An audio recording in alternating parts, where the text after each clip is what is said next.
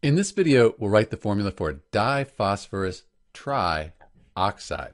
So the first thing we'll note is we have these prefixes, di and tri. That means we have a molecular compound. So what we'll do is we'll write phosphorus, the element symbol for phosphorus, that's P, and then oxide, that's from oxygen, we'll write O. The di, that tells us we have two phosphorus atoms, P2, that's the diphosphorus. And then tri for the oxide, tri means we have three oxygen atoms. That makes the formula for diphosphorus trioxide P2O3. If you were given this formula P2O3 and asked to write the name for diphosphorus trioxide, you need to recognize that you have phosphorus and oxygen. They're both nonmetals. Then you'd use these prefixes for the 2 and the 3 to give you the formula diphosphorus trioxide. This is Dr. B. Thanks for watching.